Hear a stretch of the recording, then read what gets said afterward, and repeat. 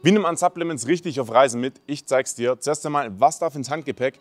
Wenn du außerhalb der EU reist, dann solltest du nicht mehr wie 350 Gramm Pulver mitnehmen, wie wir zum Beispiel in die USA. Dann wiege ich immer mein Proteinpulver und mein Strong immer so fein ab, genauso viel wie ich eben in der Reise brauche. Und die Kapseln mache ich auch separat. Wenn du in der EU reist, dann ist es eigentlich egal, wie viel Pulver du im Handgepäck dabei hast. Der Rest geht auf jeden Fall alles in den Koffer rein. Und jetzt, Leute, ich nehme immer so viele Supplements mit.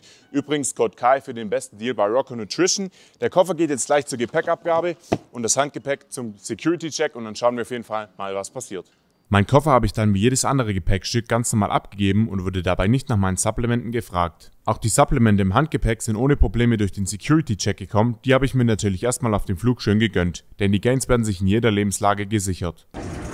So Leute, wir sind gelandet. Der Koffer hat es auf jeden Fall sicher geschafft, ohne Probleme.